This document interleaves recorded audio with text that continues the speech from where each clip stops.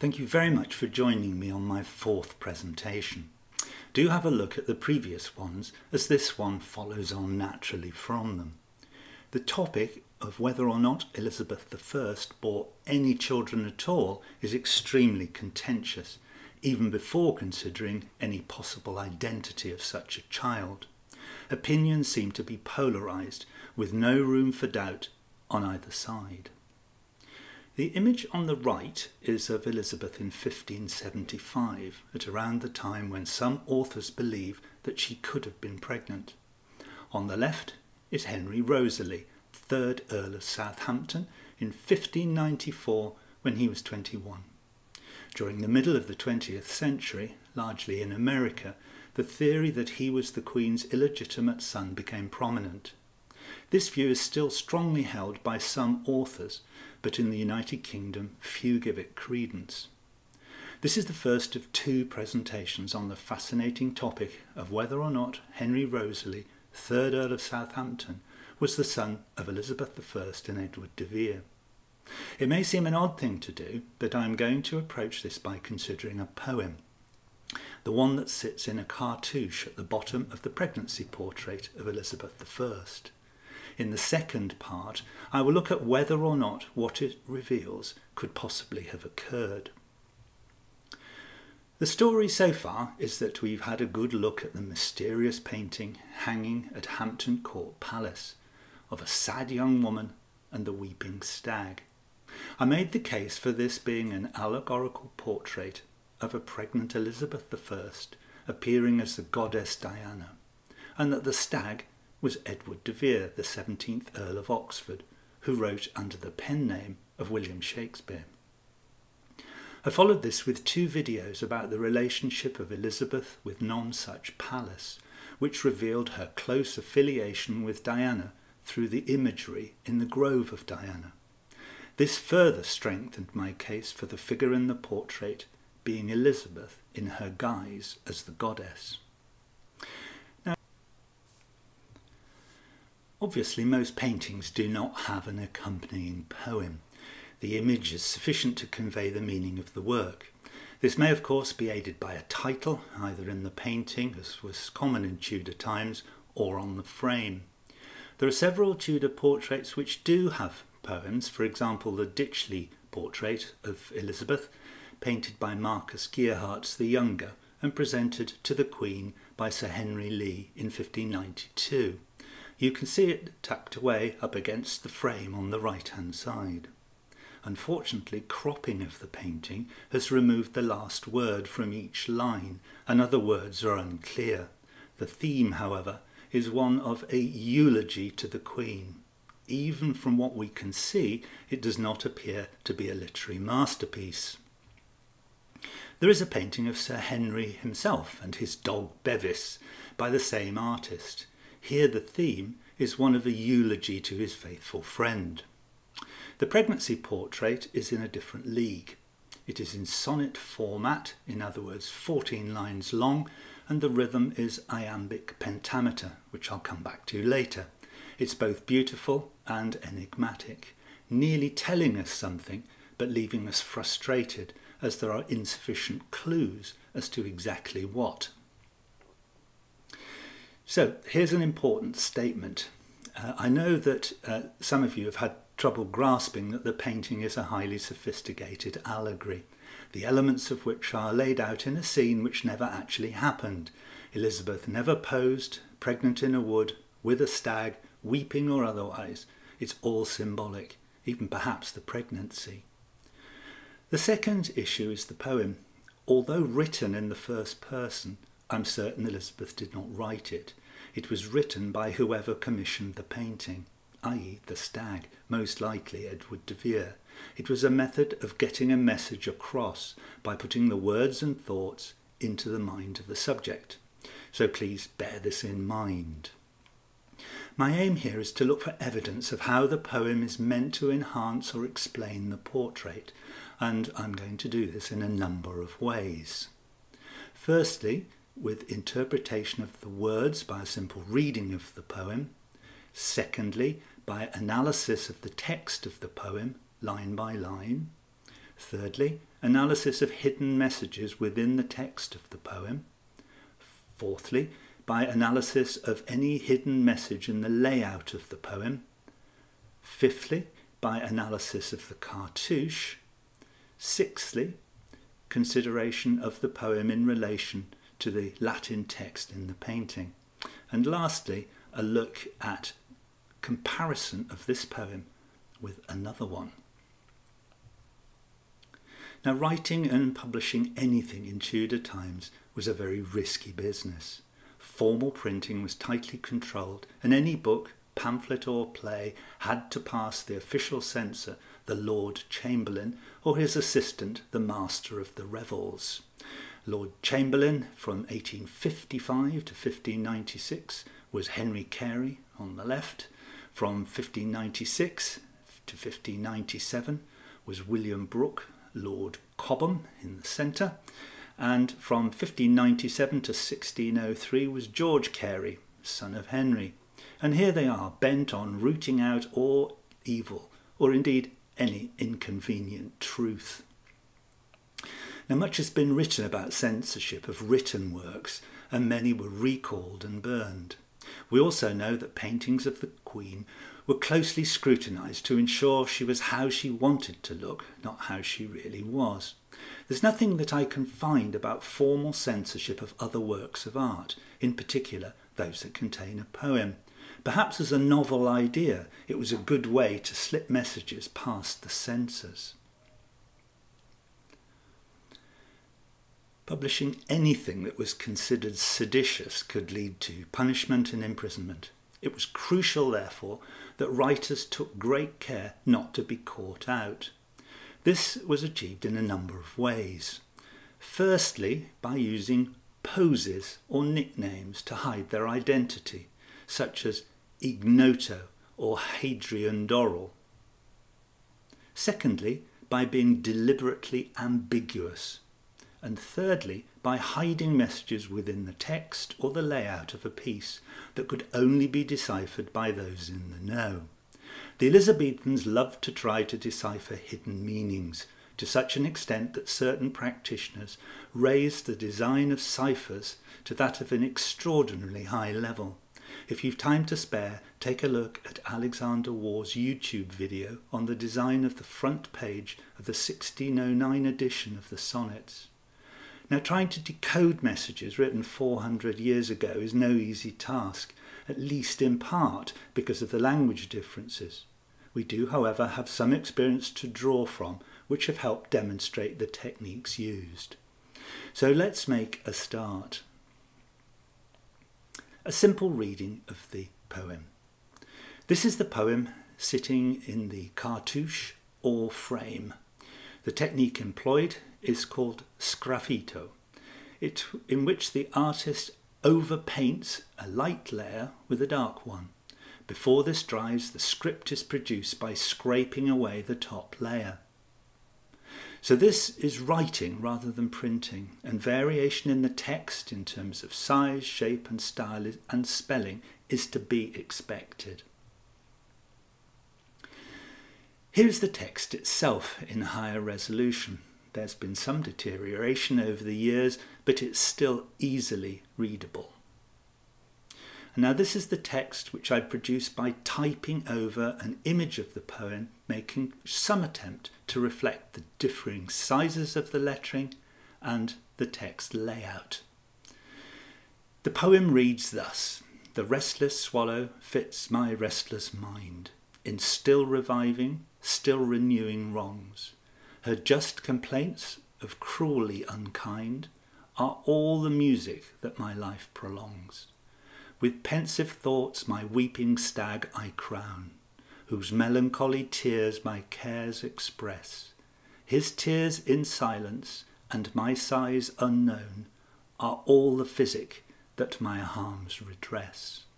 My only hope was in this goodly tree, which I did plant in love, bring up in care, but all in vain, for now too late I see the shales be mine, the kernels others are.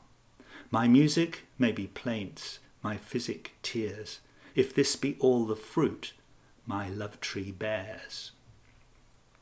Now, for the purposes of this study, I'm taking the stance that the person in the painting is Elizabeth I for a whole variety of reasons explained in an earlier video. You may not agree with this viewpoint, but please bear with me and keep an open mind until you've heard what I'm going to say. I have paraphrased the text into modern English, which I hope helps you to understand what she is saying at the first level at least. The poem is in the first person with the subject of the portrait speaking. The subject tells us that her restless mind, which keeps going over things she's done wrong, is like a swallow singing cruel but just complaints about her. The song of the swallow is the only thing that sustains her life. She thoughtfully crowns her weeping stag, whose sad tears express her own worries. His silent tears and her hidden sadness are the only things that remedy the harm she has done. Her only hope had been in planting and tending a tree of love, which is the walnut in the picture. But this was in vain, as she discovers too late that the kernels, in other words, the central or essential part of the nuts, have been taken away by others, and she is left with dry outer shells.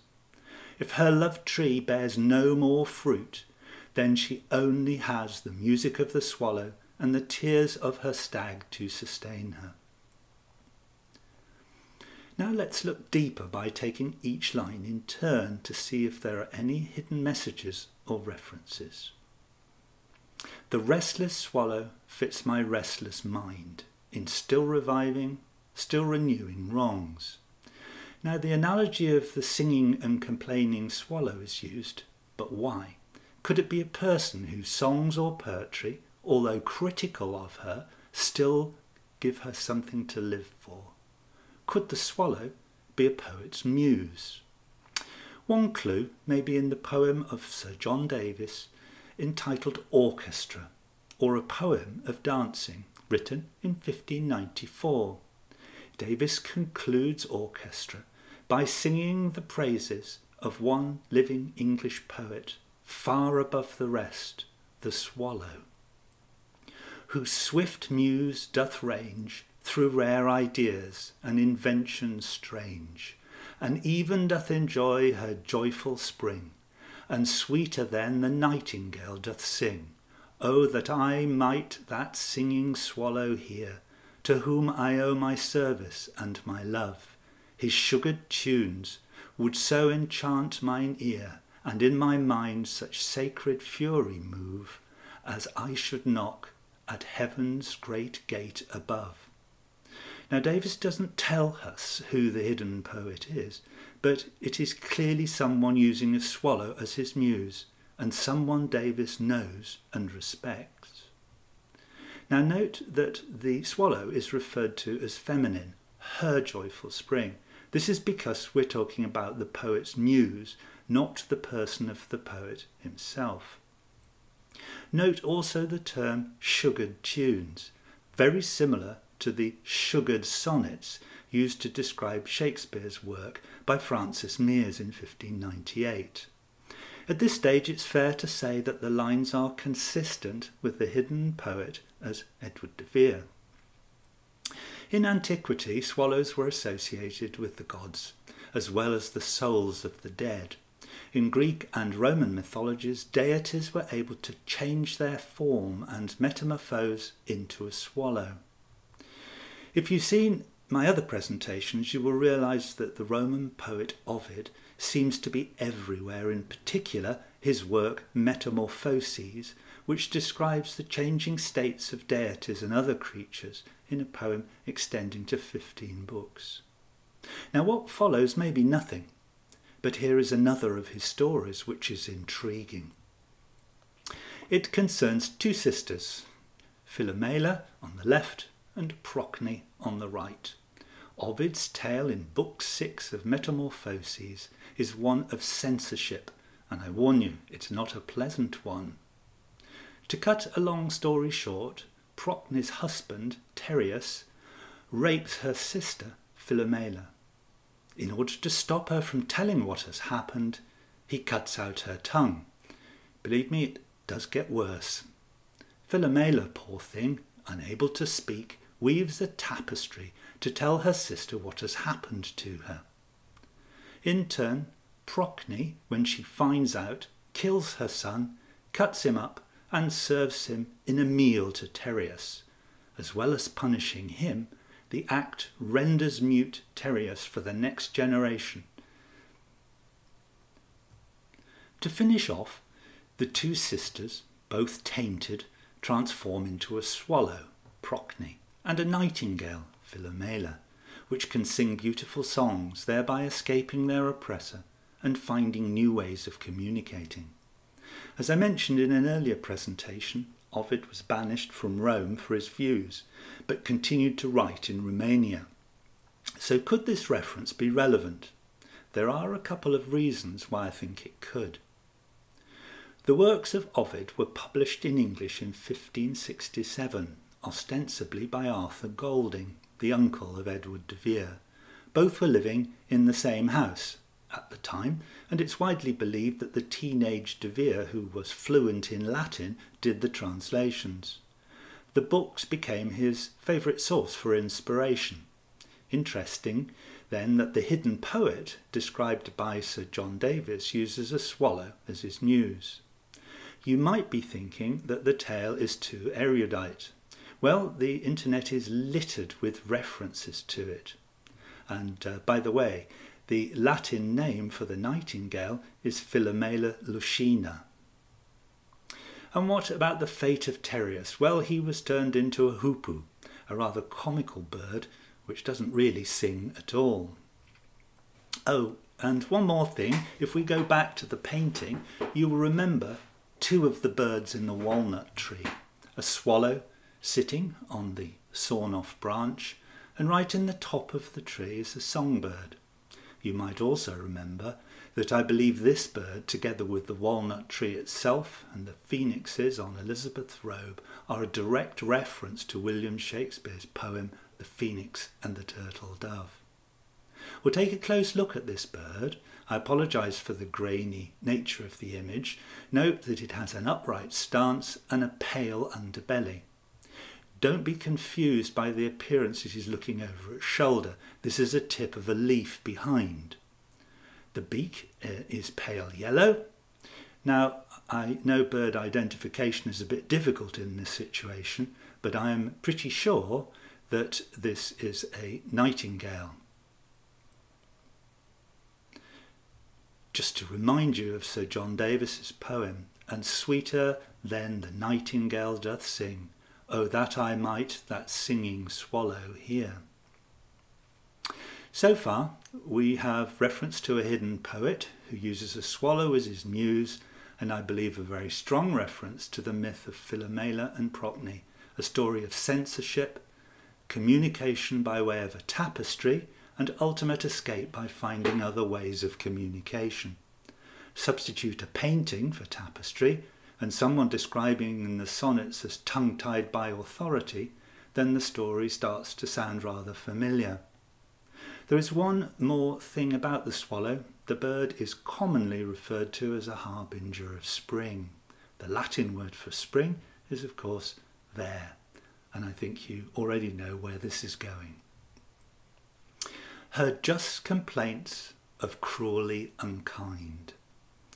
Interestingly, the swallow is feminine, but once again this is a reference to the poet's muse. Most authors report that the fifth uh, word is cruelty, but in fact close examination reveals that this is not the case.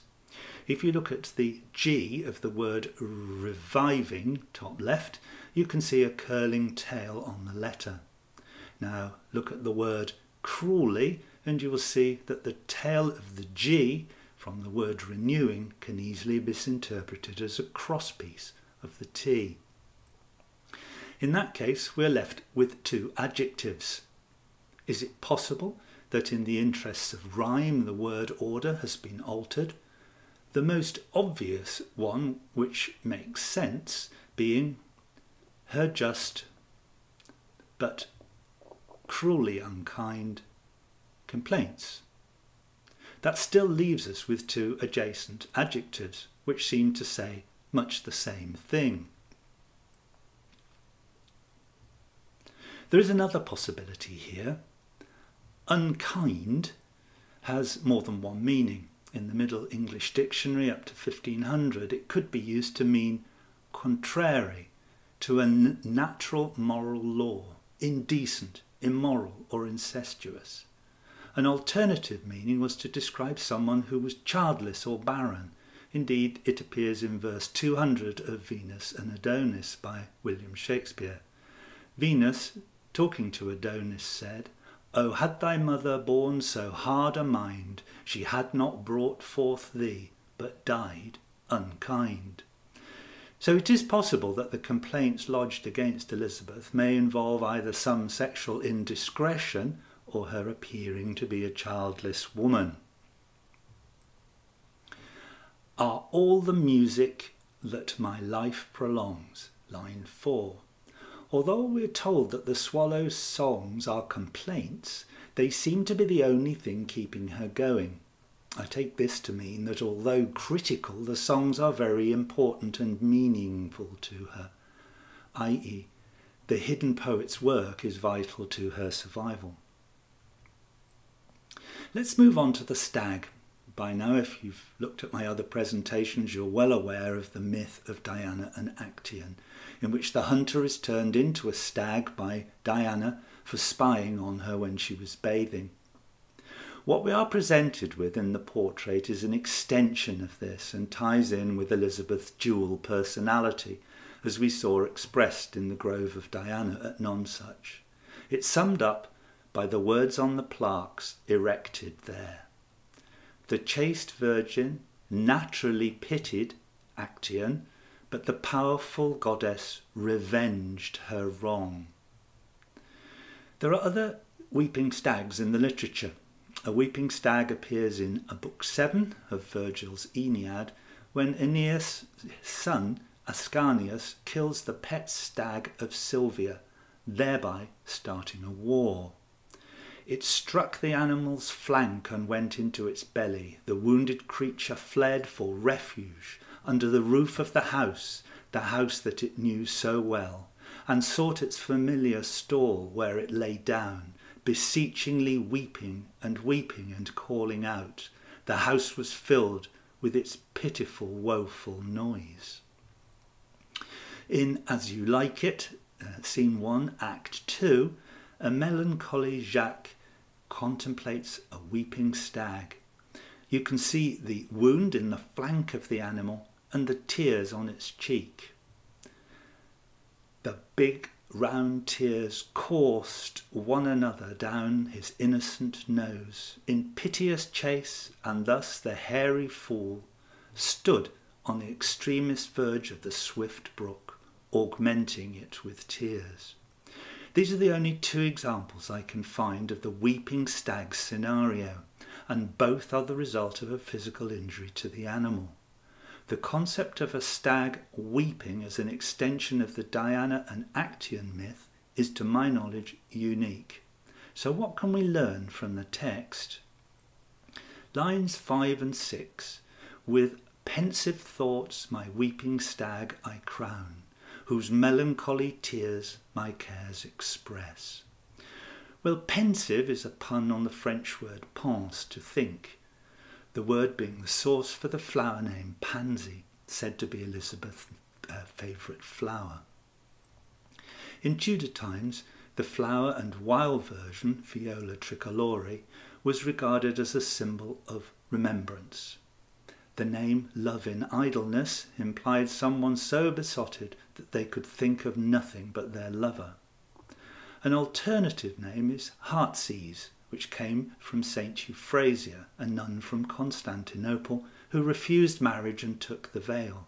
The three colours of the pansy, white for purity, yellow for joy, and purple for mourning, gave the flower the name of Herb Trinity relating to the life of the Virgin Mary. Not only does the pansy appear in crowning the stag, but in Elizabeth's headdress and in various forms in the designs of the robe. Elizabeth refers to my stag. Now, many uh, landed women of Tudor times had large estates with stags on them, so ownership by the Queen is not exclusive. The word my confers to me as being a sense of something personal. This was not any old stag, but it certainly was a very special one. The act of crowning is, of course, not exclusive to investing a monarch, and I believe in this instance it can be read as an act of love or contrition. The second His tears in silence and my sighs unknown are all the physic that my harms redress. The implication is that the stag is silent because it is unable to speak, and Elizabeth is silent because she dare not. These lines tell us that the silent tears of the stag and her hidden sighs are the only things that, to an extent, remedy the harm she has done. In other words, the fact that because their shared sorrow for what has gone on is hidden, it goes some way to limit the damage. My only hope was in this goodly tree, which I did plant in love bring up in care. This first line tells us that in the past she had just one hope. But hope of what? I can think of no other answer but achieving a Tudor succession. Elizabeth then refers to this goodly tree. The tree being referred to has to be the walnut tree in the background, as she is speaking in the present tense. The term goodly means of pleasing or fine appearance. It stands as a metaphor, but for what? My way of looking at it is that it stands for her way of ensuring the succession, not in the way of a family tree, but as a tree of love. This is confirmed by the use of love tree in a later line. The second line continues with the tree metaphor, but could have a secondary meaning. You sow a seed but plant a tree. So could planting in love be a reference to implanting an offspring into another place? In addition, there is a difference in meaning between bringing up in care and bringing up with care, albeit in modern English the former implies raising a child in some form of protective environment. The latter is more suitable for nurturing a plant. So does this mean that a child was put somewhere and then taken back into her care? Here is a painting of William Cecil, Lord Burleigh, chairing the Court of Wards. As part of William Cecil's plan to enrich himself while plunging the wealthy into penury, the fatherless children of the gentry were taken into care by way of the Court of Wards, of which Cecil was leader. His friends bid for the right to manage their lands, and when the children reached maturity, there was an expensive exit payment for what was left of their estate. Edward de Vere was the first of such children, and Henry Wriothesley was the last. Many of the children were brought up in Cecil House, his home. They were given first class educations and were considered stepchildren of the Queen. As a result of all of this, Cecil went on from being a jobbing lawyer to the richest man in the country. Lines 11 and 12. But all in vain, for now too late I see, the shales be mine, the kernels others are. Continuing in the present tense, the metaphor goes on. All her effort has been in vain, and she now realizes that it's too late. The question here is what is it too late for? One must assume that she has continued to believe that all was well with her plan, then something unexpected happens and she realizes that she's lost control. In the second line, it's interesting in that the items are in the plural, both shales and the discarded outer part of the nut, and the kernels, the essential vital parts of which have gone to others. This may simply be a result of following the metaphor of the walnut tree, which obviously carries many fruits. It would, however, be just as easy to use singular nouns without affecting the metre of the poem. It's also possible that it is intentional, implying that more than one child had been involved or one way of, of securing the succession, and that there was only one chance left. You may remember that in the portrait the swallow sits on the sawn off branch of a tree. This may imply the removal of a dynastic line. And the last two lines, my music may be plaints, my physic tears, if this be all the fruit my love tree bears. As in traditional sonnet format, the last two lines sum up the whole piece. Elizabeth tells us that if there is no more fruit, i.e., children, then she has to be content with the swallow's complaints and the stag's tears. She is trapped in sorrow and regret. So far, so ambiguous. The poem hints at, but does not confirm the identity of the stag, or indeed from the text alone that the subject is Elizabeth. However, referral to past events is consistent with Elizabeth being pregnant as a younger woman as she appears in the painting. There is also a hint that she was creating her own dynastic line, the allegorical tree. In this respect, it's interesting that some have interpreted the 1571 Succession Act as allowing bastards to inherit the throne. Now let's look at analysis for hidden messages within the text. In order to take things further, we have to enter the rather murky but fascinating world of ciphers and hidden meanings. In order to understand this, you need some basic information as to how the Tudor mind worked. One man's in particular, that of John Dee. Dee was a doctor, mystic, cryptologist, astrologer, and mathematician. He was also an alchemist, and even he talked to angels. He was also a very religious man, one of his central tenets was that everything could be defined by numbers and that each individual had one or more numbers which united them with God.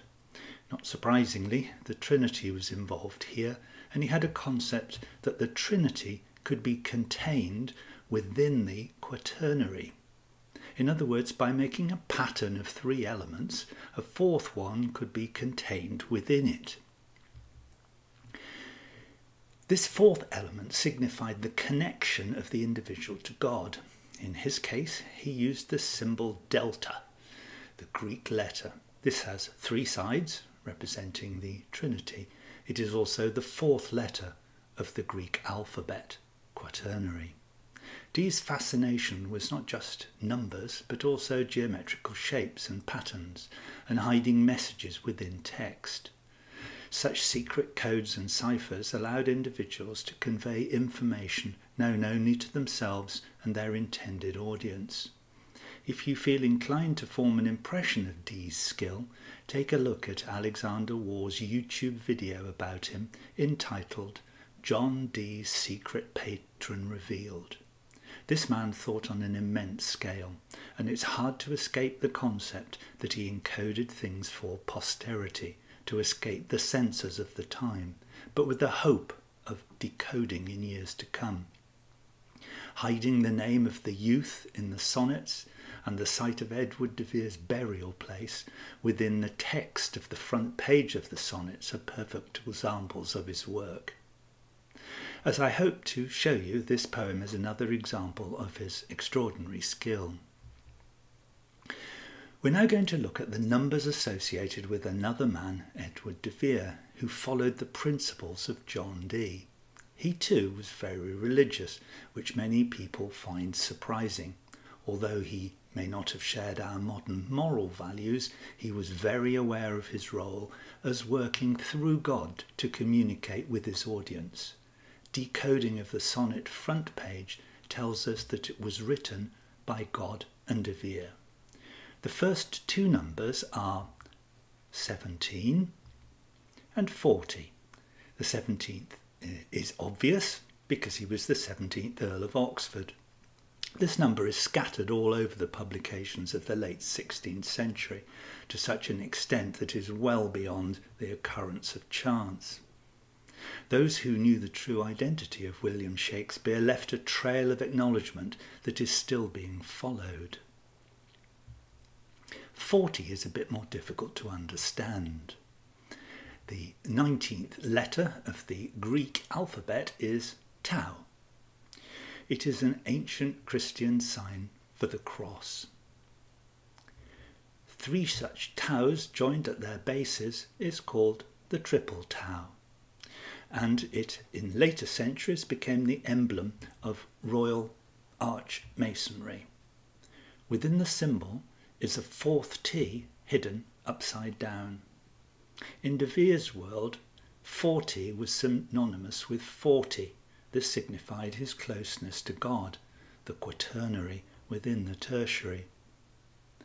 Forties are also to be found hidden in the sonnet frontispiece and the coded description below the effigy of William Shakespeare in Stratford, which when decoded tells you where the real William Shakespeare is buried. Another example of a number associated with Edward de Vere is 57. T is the 19th letter of both the Roman and the Greek alphabets. 319 equals 57, which of course is the sum of 17 and 40, once again emphasizing his closeness to God. Hopefully, you are still with me. There is a, an ancient coding system termed gematria which involves assigning a numerical value to individual letters in order to encode text. There were many variations of it over time. The Greek letter chi was assigned the value of 40 at around the time of the New Testament. The Greek letter rho is the 17th letter of the Greek alphabet. The superimposition of these two letters forms the Chi-Rho Christogram. This incorporates the first two letters of the Greek word Christos or Christ, the combination of 17 and 40 again crystallizing Edward de Vere's proximity to God. Once again, this concept is explained in much more eloquent, eloquence than my own by Alexander Waugh. Complicated though this may seem, it's important to have some knowledge of it to appreciate what follows. You should also know that for something to be validated, it is often repeated three times, referring back to the Trinity. I'm going to digress slightly at this point to tell you about another number relevant to Edward de Vere. This point is not about the poem, but fits nicely with numbers related to him. The number we are considering is 153. Now 153 is a triangular number which has a series of features. The one of interest here is that if the numbers from 1 to 153 are laid out in a triangle, they appear like this. There are 17 rows and 17 numbers along the bottom. Look again at the pregnancy portrait. You will see in a prominent position on Elizabeth's right thumb is a ring. This is facing directly towards the viewer and is directly above the stag's head. As you can see, there are five black stones. Now imagine for a moment that you had just four stones and you were asked to number them. I would wager that you would start at one point and go either in a clockwise direction or perhaps in an anti-clockwise direction. If there were five stones, then this sequence would carry on to the fifth stone. As you can see, the magic 153 number appears, and it remains even if it is rotated. To the initiated, 153 equals 17 equals De Vere. My interpretation of this is that Elizabeth is pointing at the stag, not with her index finger, as a ring here would be mal rotated, but with her thumb, where the ring is in the correct plane. If I'm right, then this forms strong support for the stag being Edward de Vere. Hopefully you're now getting the flavour of how their minds were working, all based on a fervent belief in religion and the fundamental belief in numbers as the basis of everything. For Edward de Vere, 17, 40, 57 and 153 demonstrate his proximity to the Almighty. As you're probably thinking, these philosophers were the basis of pre-Masonic thinking.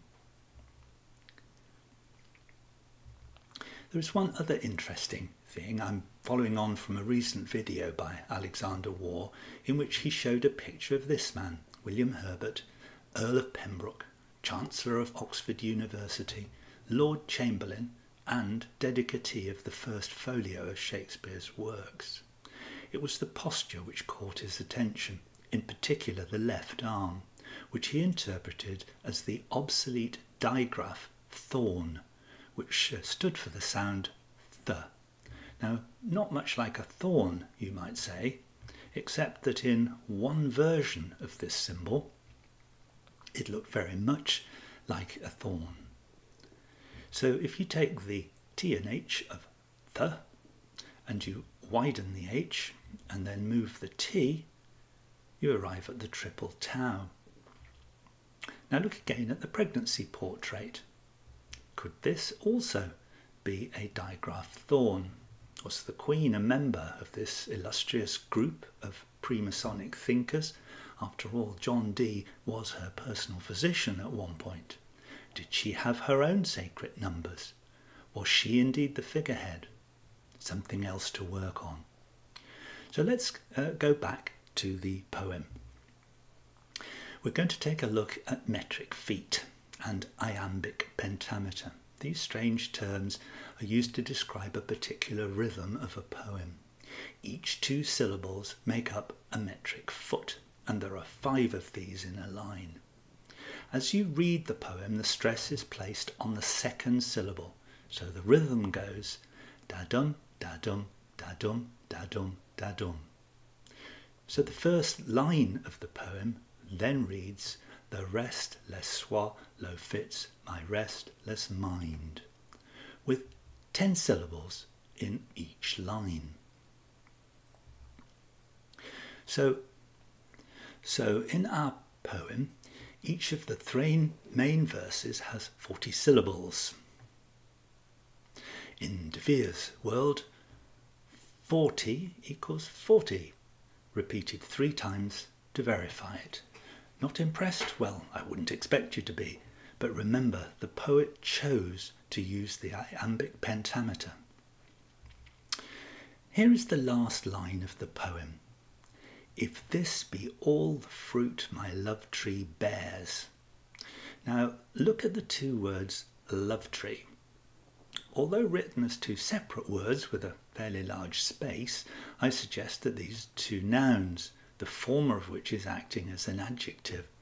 It could also be written as love tree or even love hyphen tree. In either case, it's the 17th word of the last paragraph. I've inverted the colours to make the text clearer. Firstly, it's obvious that E, via, can be extracted from it. In addition, the T of tree appears rather odd, not being a typical lowercase t. Here are the 35 T's which are in the poem, and there are four different styles. Here they're numbered in order as they appear in the poem itself. The first type is the large capital, the second is the lowercase t, the third has a curly tail on the top, and the fourth is a smaller version of the first. So let's take a closer look at the lowercase t's. Here they are, 15 of them. Now to my eye, number 35 in the poem has no upstroke on the T. It looks more like a tau. There is good clearance around the letter, so there was no need to squeeze it in. This may be nothing, but an anagram of E Vir with a tau in the middle of it might be taken as verification in terms of De Vere identifying himself with that letter.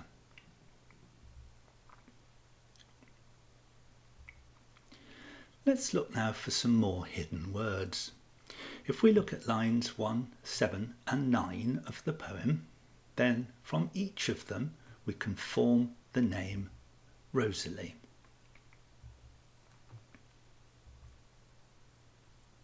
Well, it could just be chance. If you move the 1 down, then you get 17. If you add up the line numbers, they also come to 17. It's very hard to quantify the probability of this arising by chance.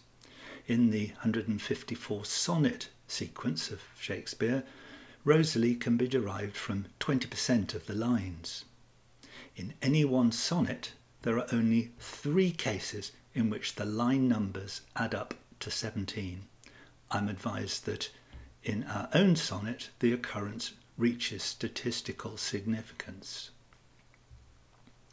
There is one more thing. The entire sentence, Henry Rosalie is my only son and heir, can be derived from each of the three lines, but can only be done so by using letters more than once.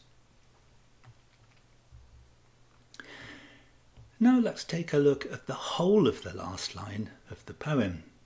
If this be all the fruit my love tree bears. These letters can be arranged to form this sentence. Evia is the true father of my still life babe. This is a complete anagram with all letters used only once. Is this by chance? Well, the combination of vir and true would support its veracity. Indeed, the De Vere motto is nihil vero verius, nothing truer than truth. The use of O was a valid abbreviation for of in Tudor times. The term babe may seem odd, but it does occur in the last two lines of Sonnet 115. Love is a babe, then might I not say so, to give full growth to that which still doth grow. But what about still life? Does this mean that the child was stillborn? I think not. Still life was a valid form of art in the late 16th century and included not only static objects but also scenes with human figures. It is thought to have originated in the Netherlands. The name is derived from the Dutch word stilleven. Marcus Gheeraerts the Younger, the painter of the portrait, was of course Flemish. Now let's delve into hidden geometry in the poem. I looked at this poem for a number of months and thought there was something odd about it. This is not at the beginning and ends of the lines, but in the centres. Some words seem to have spaces on each side which were too large. I thought initially that this was because the writer of the script wanted to ensure that the poem fitted nicely into the cartouche, possibly by starting in the middle and working outwards. Then I discovered this. If you count the words from the beginning, you arrive at the 17th word, which is of. If you then construct a perpendicular between the two letters, it intersects four words of, my, that, love, and fruit. Rearranged, this can be read as that fruit of my love. So we have Rosalie, written three times horizontally, and the 17th word of the poem leads us to that fruit of my love. Put together, of course, it reads Rosalie, that fruit of my love. Could this just be chance? There is a technical point here. Photographing an object such as a painting can result in parallax errors if the camera is not absolutely perpendicular to the canvas. This causes distortion, particularly in the horizontal and vertical planes. I therefore used an image from the Royal Palace collection which revealed that the lines of the text were horizontal, even though the cartouche was not perfectly symmetrical. Unfortunately, the text on this image was illegible, so I superimposed one of my own images to check that it was properly aligned. I'm confident, therefore, that the relationship of the vertical line to the words is not an error. I concede that the line just touches the word my rather than crossing it. I believe that I'm on fairly safe ground to conclude that we have the word Rosalie written three times horizontally and that fruit, oh, that fruit of my love is written vertically. Now let's look at the frame uh, around the poem, uh, the cartouche. Not much of any interest, you might think, just a rather ornate frame for the poem. But take a closer look, as there are several important features. Firstly, there are three single flowers, one at the top and one on each side. There are two symmetrical O-shaped rings, one on each side. At the top is another circular perforation with a square below it and two side pieces which curve forwards, giving the appearance of outstretched arms.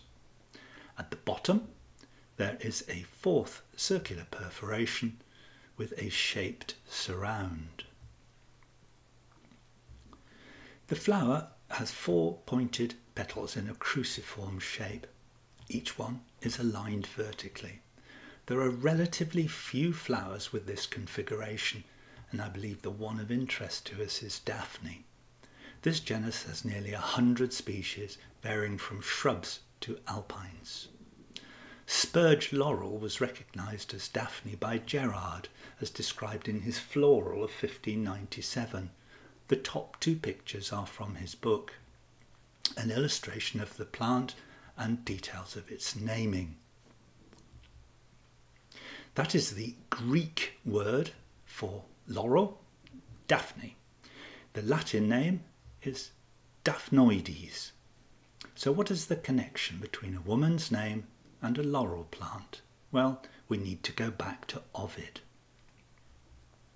Daphne was considered to be a minor figure in Greek mythology. She was a female nymph associated with fountains, wells, springs, streams, and brooks. Various forms of the myth exist, but centre around the pursuit of Daphne by the Greco Roman god Apollo, sometimes known as Phoebus. The story was interpreted by Ovid in Metamorphoses, Book 1. According to this uh, version, Apollo's infatuation was caused by a golden tipped arrow shot at him by Cupid, son of Venus, who wanted to punish Apollo for having insulted his archery skills. And to demonstrate the power of love's arrow, Cupid also shot Daphne, but with a leaden tipped arrow, the effect of which was to make her flee from Apollo. Elated with sudden love, Apollo chased Daphne continually. He tried to make her cease her flight by saying he did not wish to hurt her. When she kept fleeing, Apollo lamented that even though he had the knowledge of medicinal herbs, he had failed to cure himself from the wound of Cupid's arrow. When Apollo finally caught up with her, Daphne prayed for help to her father, the river god, who immediately commenced her transformation into a laurel tree, Laurus nobilis. A heavy numbness seized her limbs, thin bark closed over her breast. Her hair turned into leaves, her arms into branches. Her feet, so swift a moment ago, stuck fast in slow growing roots. Her face was lost in the canopy, only her shining beauty was left. Even this did not quench Apollo's ardour and as he embraced the tree, he felt her heart still beating. Then he declared, My bride, he said, since you can never be, at least, sweet laurel, you shall be my tree, my lure, my locks, my quiver you shall wreathe. Upon hearing his words, Daphne bends her branches, unable to stop it. This sculpture by Gian Lorenzo Bernini shows the moment Daphne turns into a laurel. If you're not familiar with Bernini's work, please take a moment to marvel at what one man can do with a single piece of marble. To my mind, one of the most beautiful artistic creations. Now, a bit more about Apollo. Apollo was a sun god of great antiquity, yet he is represented as an ever youthful god, just wise and of great beauty. Apollo represented the moral excellence that we think of today as civilization. His cult in Delphi had enormous influence on matters of state and religion, as well as on everyday law and order. As the god of muses, he presided over music, songs, dance, and poetry. He also provided over medicine, either through himself or his son Aesculapius. In Roman times, he became known as by the epithet Phoebus, or bright, in other words, the god of light. Now we know that Edward de Vere referred to himself as Apollo. Arguably, Apollo was the god of all things at which he excelled. Here is a section of a poem written by De Vere. I'll return to the circumstances of this poem later, but at this stage it's clear that De Vere was well aware of the myth from an early age, the myth of the god chasing something he could not have resonates with the theme of the painting. A crown of beige shall that man wear that triumphs over me, for black and tawny will I wear, which mourning colours be. The more I followed one, the more she fled away, as Daphne did full long ago, Apollo's wishful prey. The more my plaints resound, the less she pities me. The more I sought, the less I found that mine she meant to be. Drown me, you trickling tears, you wayful wights of woe. Ah, ah la la Lantida, my dear dame has thus tormented me. To return to the cartouche, the detail on the right side has been partially obscured by the frame, so I've replaced the missing part by copying the other side. The spelling of Daphne in Greek begins with the letter delta. So we have Daphne three times written over each of the flowers. Now, Daphne is the uh, fourth letter, delta, of the Greek alphabet. So if we replace this with figure fours, we have three fours. Now if we describe a circle within the three perforations, then three forties appear.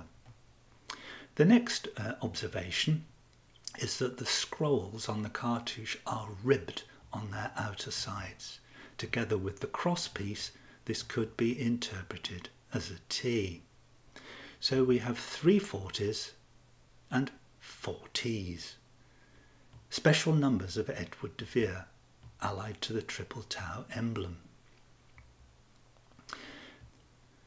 If we return to the cartouche frame and join the centres of the three circular perforations, the shape described is the Greek capital letter delta. As I discussed earlier, John Dee sometimes signed his name with that letter delta. He followed it with a dot. Delta dot, the circular projection on the right side of the capital delta, fulfills that role. This is based on a Hebrew system called Nikud, in which dots were used to denote the pronunciation of consonants in a language which does not have vowels. In this case, it tells us to pronounce delta dot as D. Alexander Waugh goes into this in more detail in his presentation. The small square perforation lies within the larger triangle and may represent the quaternary within the tertiary, in other words, a four sided object within a three sided one, the philosophy of John Dee. You will remember I discussed you will, you will remember I discussed the chi-rho symbol uh, with respect to Edward de Vere, combining the numerical values. You will remember I discussed the chi-rho symbol with respect to Edward de Vere, combining the uh, numerical values of rho 17 and chi 40. Well, if you draw lines between the centres of the cutouts on the scrolls, then these intersect with a vertical line down the centre of the cartouche. The top of the rho can be drawn along the edge of one side of one of the arms at the top of the cartouche to complete the Chi-Rho Christogram. In addition, the vertical line bisects the word of, from which one might read OXF, the first three letters of Oxford. Now let's look at whether or not the findings from the poem fit with the Latin inscriptions in the painting. You'll remember the three inscriptions were on the left hand side. The first emerges from a swallow's mouth and translates as a just complaint of injustice. This is completely consistent with the first verse of the poem, and I would now interpret the swallow as the poet's muse and the whole work of art being skilfully designed complaint about how the poet had been treated by Elizabeth. The second translates as, Thus what is mine is mine. It appears to be carved onto the trunk of the tree. I would now interpret this as Elizabeth recording a loss and the interpretation of the poem that this is her son as heir. The third inscription is being spoken of into the ear of the stag. It translates as pain is pain's medicine. A colloquial expression might be get over it. This would certainly fit with the human Elizabeth, feeling love and sympathy for the stag, but her alter ego, the goddess Diana, remaining harsh and unbending. The stag will not be allowed to speak again.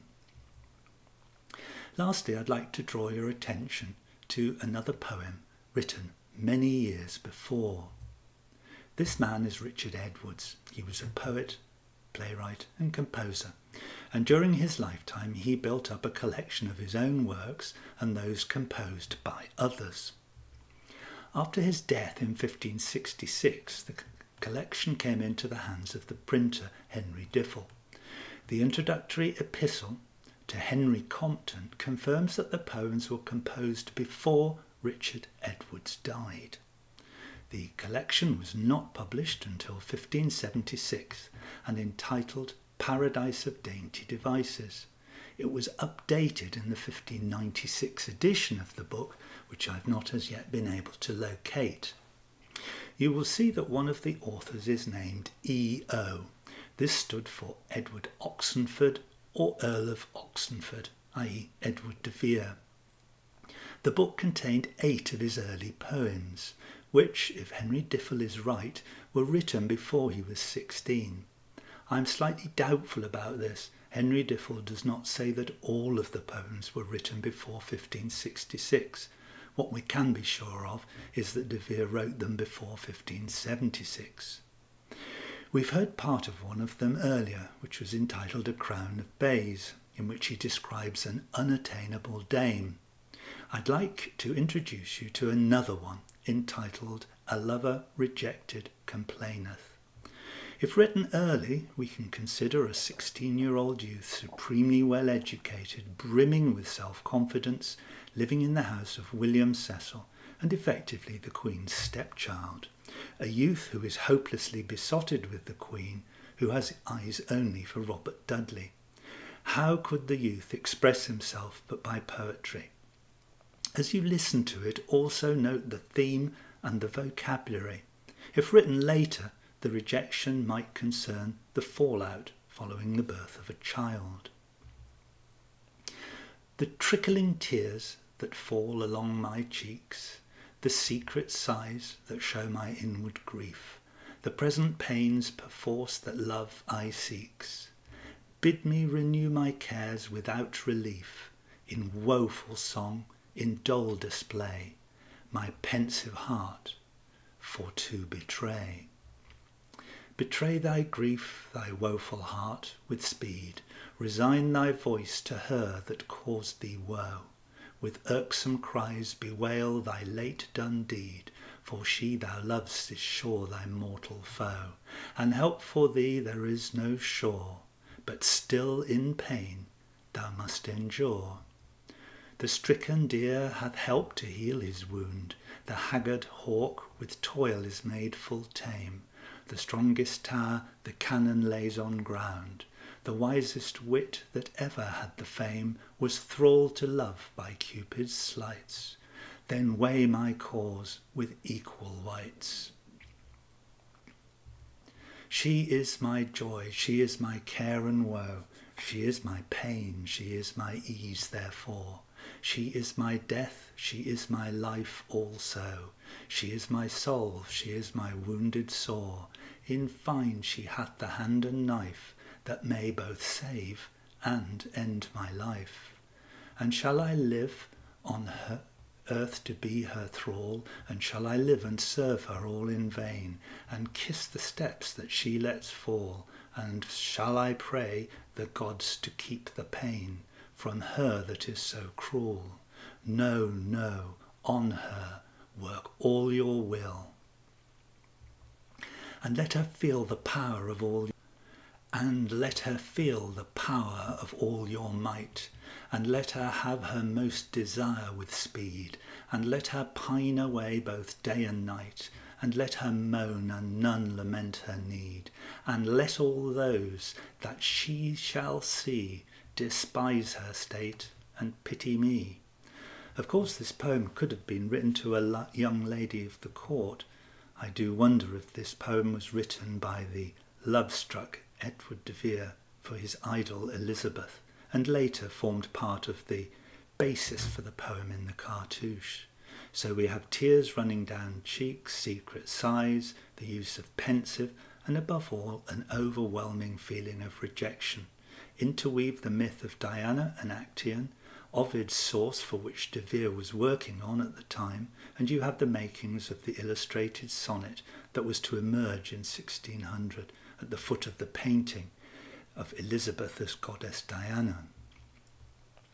Well, thank you for making it this far. Many of the concepts I've discussed are very hard to grasp at first hearing. I can take no credit for discovering them. That honour goes to my learned friend Alexander Waugh. I have merely applied his discoveries to a new topic. What I presented to you is a series of observations on the poem and cartouche within the pregnancy portrait. You may disagree with some, or indeed all of them. You could say that I had preconceived ideas as to what I was uh, looking for and chose those that fitted. The result may have been different if, for example, I'd been looking for the words, the moon is made of green cheese within the poem. It isn't there, uh, by the way, Although the observations of my learned friend Alexander Waugh may be new to you, I hope that you can begin to understand the complexity of the ciphers used to avoid detection. It's crucial to remember that this painting, although altered over the years, is a genuine original 16th century document, making a very big and indeed very expensive statement. Whether or not it was intended to embarrass those living at the time or to convey a message to future generations to set the record straight is of course unknown. It is remarkable that it survived, and I believe it has done so for a number of reasons. Firstly, its secrets, and there may be more, were hidden by one of the world's finest cryptographers, John Dee.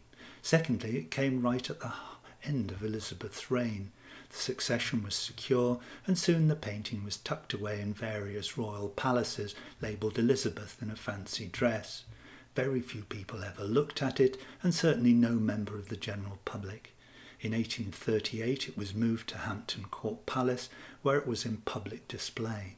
To be honest, few people took much notice until interest grew over the authorship question concerning the Shakespeare canon and the painting's existence was revealed by Dr. Paul Altrocchi. Today the picture is too famous for it to suddenly vanish.